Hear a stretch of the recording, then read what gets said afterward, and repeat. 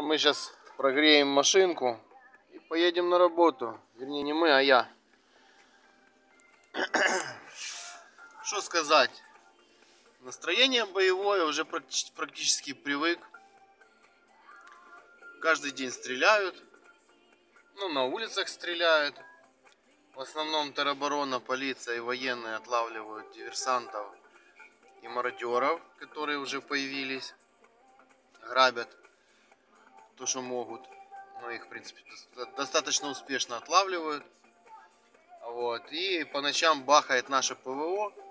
Сбивают самолеты вражеские и э, ракеты, калибры, Искандеры, которым уже очень не смешно, кстати, на самом деле. Хваленые Искандеры. Сбиваются.